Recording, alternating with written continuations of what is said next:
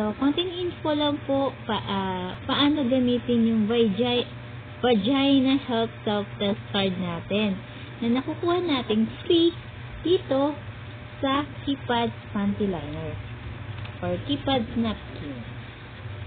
Yan. Ah, bigay lang po ako ng instruction or paano siya gamitin. So, kukuha po tayo ng konting liquid doon sa puwerta natin. Ito po yung gamit. Yan. Ayan. Pag nakakuha na po, pagka na nakapaghugas ka na, tapos nakakuha ka na nito, pupunas mo po siya dito sa kulay yellow. Kuskus mo lang.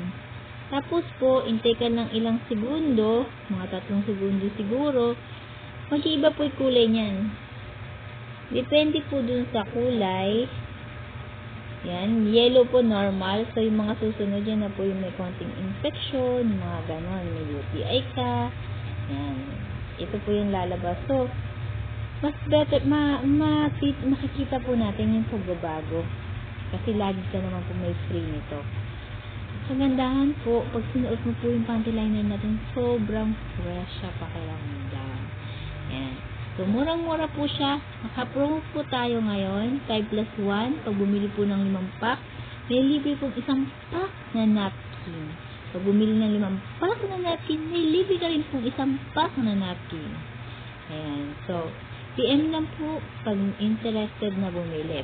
Sa gusto pong mga mag-dealer, yung mga gustong makamura pa, 8,880 po. Yan, dealer na po kayo. Sa susunod na bili ay buy one take one na pwede na kayong makabili. Kapag naman pong 15,888, pwede ka na po magkaroon ng free food cart. Free po na food cart yung Show My King. Sobrang quality po nun. So, yun po yung maganda sa business natin. Marami tayong pwedeng pagkuhanan ng income. Kaya makakatutos po tayo sa ating pamilya kung walang trabaho yung mister natin. At kung tayo nasa bahay lang, nagagawa po natin yung business na kagaya ko na nag-online lang din. So, sobrang happy ako na i-share sa inyo yung business natin. Kaya, pwede na po kayo mag-PM sa mga interested bumili. Maraming nagtatanong din po paano po maging dealer ng Shape Up.